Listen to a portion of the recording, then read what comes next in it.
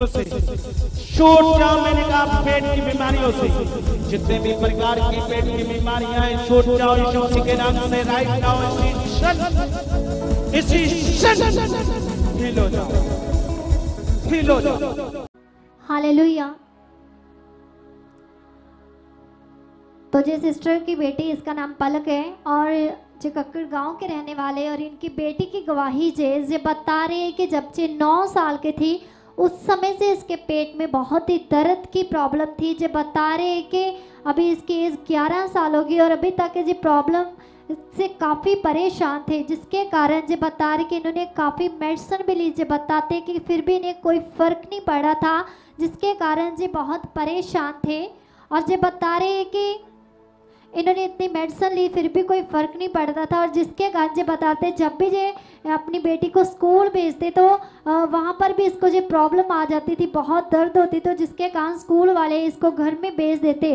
तो जिसके कारण जो सही तरह से स्कूल नहीं जा रही थी, और कभी कभी तो जो स्कूल ही नहीं जाती थी, क्योंकि दर्द से इतना परेशान थे, रोज़ ही इसके दर्द रहती थी। मेडिसिन खाती थी, कुछ समय तक इसको फ़र्क रहता था, पर बहुत ज़्यादा प्रॉब्लम में थे और अभी तक जो परेशान थे, पर जैसे इनके, इनको प्रभु की गुड न्यूज़ मिली और जैसे इन्होंने फ़र्स्ट मीटिंग को अटेंड किया और उसके पहले इन्होंने काफ़ी ट्रीटमेंट भी कराया, जैसे इन्होंने जब टेस्ट कराए तो जब बता रहे हैं कि डॉक्टर ने बताया, हम उस रिपोर्ट को देखेंगे। जब इन्होंने टेस्ट कराए तो डॉक्टर ने बताया कि इसके पेट में इन्फेक्शन की प्रॉब्लम है, जिसके कारण इसके दर्द सही नहीं हो रही। तो फिर इनकी मदर काफ़ी परेशान हो गए। फिर भी इनको मेडिसिन दे रही थी, पर इन्फेक्शन की प्रॉब्लम भी सही नहीं हो रही थी। फिर डॉक्टर ने कहा कि आप अल्ट्रासाउंड कराए। फिर इन्होंने अल्ट्रासाउंड भी कराया। तो डॉक्टर ने कहा कि इसके पेट में छोटी छोटी गांठ की प्रॉब्लम है, जिसके कारण इसकी प्रॉब्लम इतने लंबे समय से और जब मेडिसिन भी से मेडिसिन भी खा रहे, फिर भी इसको फ़र्क नहीं पड़ा।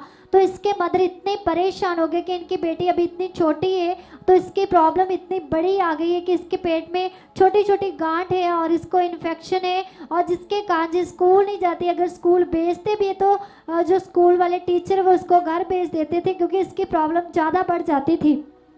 तो जो काफ़ी परेशान थे और जैसे इन्होंने फ़र्स्ट मीटिंग को 20 जुलाई सॉरी 20 अगस्त की मीटिंग को जब इन्होंने अटेंड किया तो जब बताते हैं कि जैसे परमेश्वर के दास जब दुखियों, बीमारों के लिए प्रार्थना कर रहे थे तो जैसे टीम ने इनको उत्साहित किया कि जो परमेश्वर के दास जब प्रार्थना कर तो आप अपने लिए रिसीव करें तो जो इनकी बेटी काफ़ी परेशान थी, उस दिन भी इसके पेट में दर्द हो रही थी, उस कंडीशन में जैसे मीटिंग में लेकर आए थे इसको तो काफ़ी प्रॉब्लम में थे। तो जब परमेश्वर के दास के द्वारा हीलिंग वर्ड आया कि जिसके पेट के, पेट की बीमारियाँ हैं, परमेश्वर आज उन्हें आज़ाद करने वाले हैं। पहले हम इस वीडियो क्लिप को देखेंगे।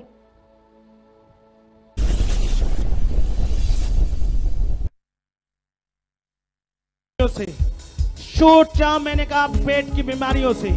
जितने भी प्रकार की पेट की बीमारियाँ हैं छूट जाओ यीशु मसीह के नाम से राइट नाउ इसी क्षण इसी क्षण हील हो जाओ हील हो जाओ। तो जैसे इन्होंने इस वर्ड को अपनी बेटी के लिए रिसीव किया, ग्रहण किया तो जैसे जो फिर आगे आए, इन्होंने अपनी प्रॉब्लम के लिए परमेश्वर के दास को बुलाया, अभी हम उस वीडियो क्लिप को भी देखेंगे। हाले या तो प्रेरस जी जी सिस्टर आज फ़र्स्ट टाइम मीटिंग में आए और इनकी बेटी है। जब बता रही कि जब जी नौ साल की थी तो उस समय से इसके पेट में बहुत दर्द हो रही थी। दर्द रहती थी और जब ग्यारह साल की होगी, तीन साल हो गए कि बहुत ही दर्द हो रही इन्होंने बहुत ही मेडिसिन भी दी है। और आज विश्वास करते कि परमेश्वर इनकी बच्ची को इस प्रॉब्लम से पूरी तरह से आज़ाद कर चुके हैं। ओके तो इस विश्वास में बने रहना। अभी कैसा है? अभी ठीक है दर्द? हाँ? अभी ठीक है। तो ये ठीक रहेगी इसी विश्वास में रहना। ठीक है? हाँ नेक्स्ट नेक्स्ट बताओ नेक्स्ट इनको पूरी तरह से इस दर्द से आज़ाद कर दिया है। और अभी जो बताते कि स्कूल भी जा रही है कोई प्रॉब्लम नहीं आ रही इसको। अभी जो पूरी तरह से इस प्रॉब्लम से फ्री हो चुके हैं। इस गवाही के लिए जो परमेश्वर और परमेश्वर के दास का धन्यवाद करते हम सब तारीफ़ करेंगे। जाके नहीं पहाड़ खलो सकता ने जाके नहीं पहाड़ खलो सकता। करिए जे विश्वास सब कुछ हो सकता। सुनो ये कितने साल से ये प्रॉब्लम थी? कितने साल से थी ये प्रॉब्लम? नहीं माइक उनको को दे दिया। हाँ? नौ साल से ये प्रॉब्लम थी। बाप रे बाप। देख लो। अच्छा नौ साल की एज थी। अभी कितनी हो गई है? अभी ग्यारह हो गई है। नौ और ग्यारह कितने हो गए? दो साल से। हाँ ठीक है। तो नौ साल की एज थी जब ये प्रॉब्लम शुरू हुई और दो साल तक ये इस प्रॉब्लम के कारण पीड़ित रही, ये बच्ची। बहुत मेडिसिन खाई, इलाज कराया, पर कोई फ़र्क नहीं पड़ा। बोलो क्या कोई फ़र्क नहीं पड़ा, कोई फ़र्क नहीं पड़ा। बोलो क्या जिसके कारण इससे स्कूल भी जाया नहीं जा रहा था। अगर चले जाती है, किसी दिन मन बनाकर, वहाँ पे फिर प्रॉब्लम हो जाती है और स्कूल वाले फिर घर भेज देते हैं। और दो साल इसके ऐसे ही निकल के। बोलो क्या है? पर जैसे ही गुड न्यूज़ थी बोलो क्या थी? जैसे ही गुड न्यूज़ थी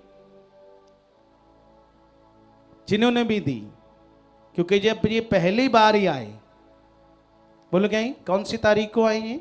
20 अगस्त। 20 अगस्त को पहली मीटिंग में आए और खुदावन के आत्मा ने छुआ। बोलो क्या है? आज आपके सामने हैं। कोई दर्द नहीं, कोई मेडिसिन नहीं खाते। अब बच्चे, कोई प्रॉब्लम तो नहीं है ना? ठीक है ना पूरी तरह अभी? स्कूल जा रही है अभी? हाँ? स्कूल जा रहे हो ना? अब कोई प्रॉब्लम नहीं, कोई दर्द नहीं होती। देखो, हमारा परमेश्वर कितना सामर्थ्य है। दो साल से भाई, दो साल से ये दर्द थी। कोई मेडिसिन से आराम नहीं मिल रहा। पर जैसे ये पहली बार, फ़र्स्ट बार आए, खुदा के रूह ने छुआ, अब कोई दर्द नहीं, कोई प्रॉब्लम नहीं है भले चंगे, आज आपके सामने है ये बच्ची।